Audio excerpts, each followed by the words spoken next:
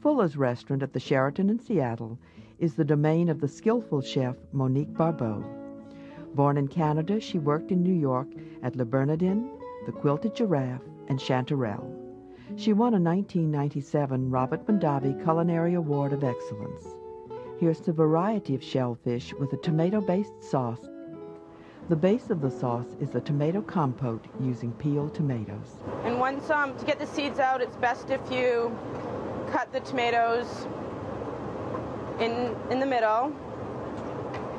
And then with um, a glass bowl, no, not a glass bowl, a bowl, you want to gently de-seed the tomato and just squeeze gently on the tomato and all the seeds will fall out. So you want a de-seeded tomato, no seeds. The seeds will cause a bitterness in the tomato paste. And then you want to rough chop the tomatoes.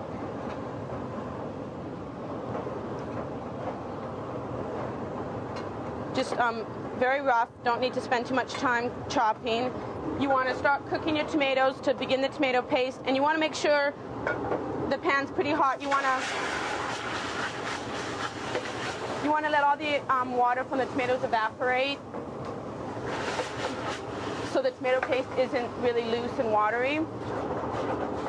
And you want to add a little shallot and garlic to that as it's cooking down.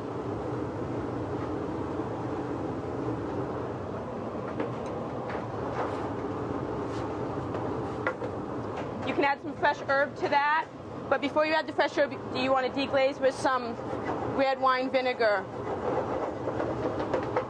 And then when most of the liquid's evaporated, you want to deglaze with the um, red wine vinegar. And then once that's all reduced down, it, that would be your paste for the fricassee. Finally, fresh herbs. And then you can finish off with um, your fresh chopped herbs.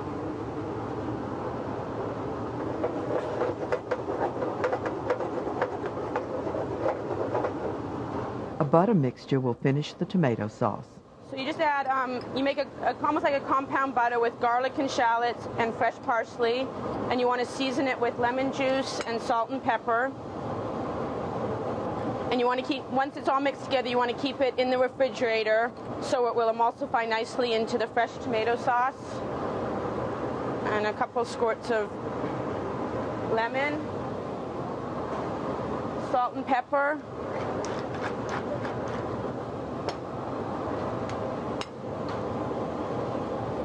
And you can add a little more garlic if you prefer it to be a little garlicky, but equal parts garlic to shallot is about what you should do. And then you have the compound butter. Shallots are softened in olive oil using two pans for steaming the shellfish. You want to add a little white wine and some fish stock.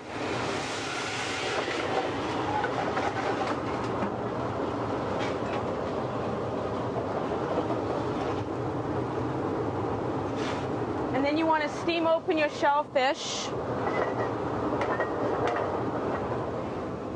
Saving the oysters to last because they don't take as long to cook.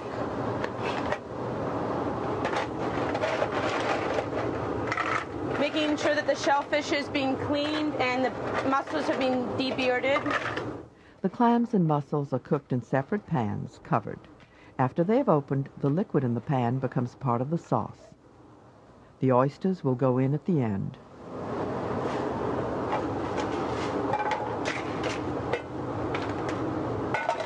You want to transfer them to a, a pot to keep them warm while you finish your sauce. The clams are removed from the liquid, then the oysters are added. The oysters can be added in um, to one of the saute pans and just lightly poached.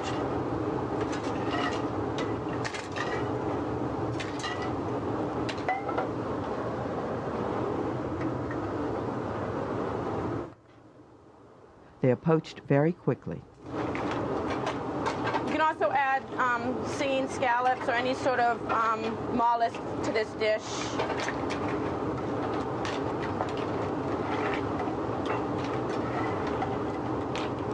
So now you have um, some white wine, the fish stock, some shallots to begin your sauce with. The cooking liquid begins the sauce. You want to add a little bit of heavy cream.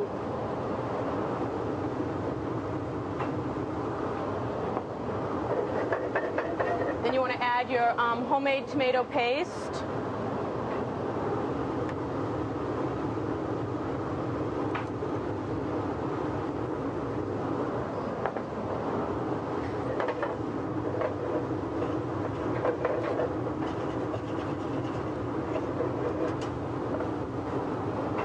And once that comes to a boil, you want to finish it with your garlic butter, a little lemon juice, and salt and pepper.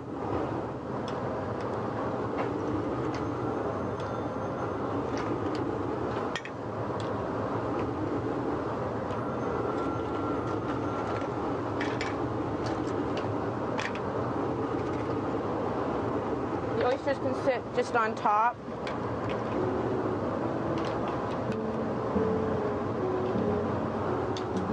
Then you want to in a little bit of your garlic butter.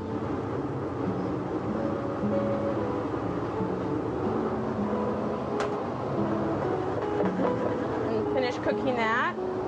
Basil chiffonade will garnish. And you want to finish the sauce with a little lemon juice,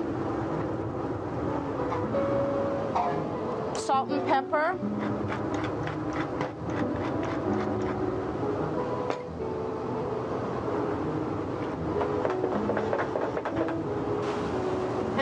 And then just nappe the sauce over the shellfish.